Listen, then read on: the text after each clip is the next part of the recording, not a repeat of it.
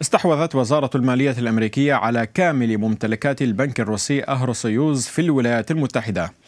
وجاء في بيان لوزارة المالية أن القيود على البنك فرضت بسبب معاملات كبيرة تمت لصالح بنك كوريا الشمالية للتجارة الخارجية آن يانغ سو البنك الكوري الشمالي يخضع لعقوبات الولايات المتحدة وكذلك لعقوبات مجلس الأمن الدولي.